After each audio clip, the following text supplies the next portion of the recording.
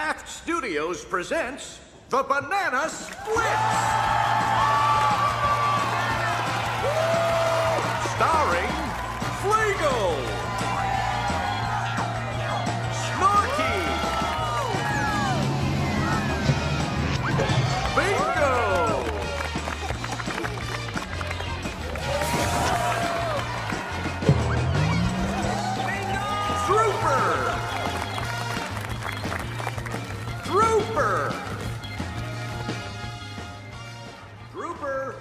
Where the hell is it?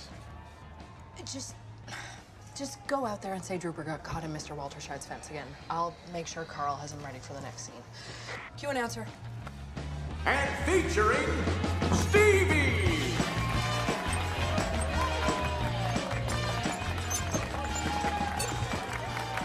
Is that man dressed like a child? That's Stevie. Nobody really likes him.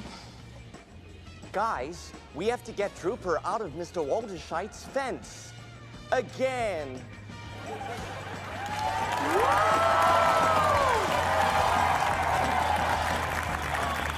Our first scene will begin in a few minutes, folks, so sit tight.